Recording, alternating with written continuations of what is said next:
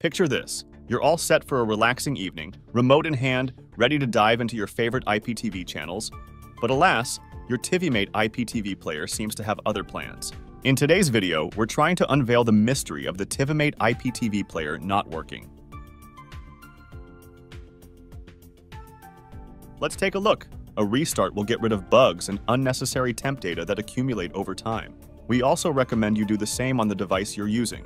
We recommend private internet access. It has over 30,000 servers across 84 countries. That way, you'll have plenty of options to choose from. Get a PIA VPN subscription. After login, click the server button to access the list of available global servers. Select a server, then connect, and then open the TiviMate app. Another possible cause of TiviMate not working could be storage capacity. After all, the service requires considerable space to store data and cache. Your Wi-Fi configuration may be causing streaming platforms to block, so check your setup, connect to another network, use an Ethernet cable, try other apps, and contact your ISP. Finally, you're maybe using an outdated app that's buggy. If that's the case, you should get the latest version of the app. Here we go. Five fixes to make it work again.